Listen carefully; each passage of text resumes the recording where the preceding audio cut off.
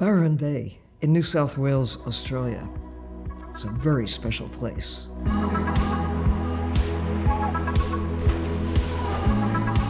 Champions Alice Forrest, marine biologist and wildlife guide. Dr. Elizabeth Hawkins, founder and CEO of Dolphin Research Australia. This hope spot encompasses the Cape Byron Marine Park and the Julian Rocks Nguthungulli Nature Reserve, which highlights the ecological, cultural, and economic importance of the region. Here, along the eastern point of Australia's mainland, tropical and temperate currents converge, establishing a high level of biodiversity.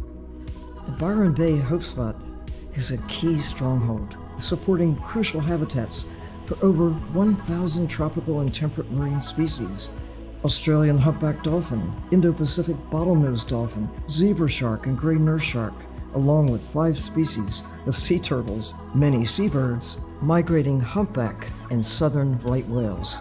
The region, understandably, is a very popular tourist destination, with millions of people visiting every year. Combined with habitat degradation from pollution, runoff, and coastal development, climate change, increasing ocean temperatures, and acidification, ocean life is vulnerable and faces an uncertain future. The Byron Bay Hope Spot highlights the need to safeguard and secure the protection of this unique region to ensure thriving diversity of life into the future.